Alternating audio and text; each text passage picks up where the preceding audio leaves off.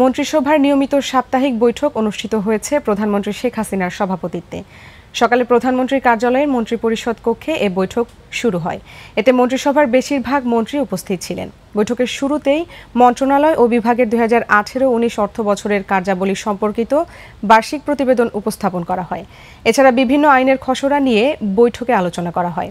আলোচ্য বিষয়াদি নিয়ে সচিবালয়ে মন্ত্রিপরিষদ সচিব মোহাম্মদ শফিউল আলম সাংবাদিকদের বিস্তারিত জানাবেন।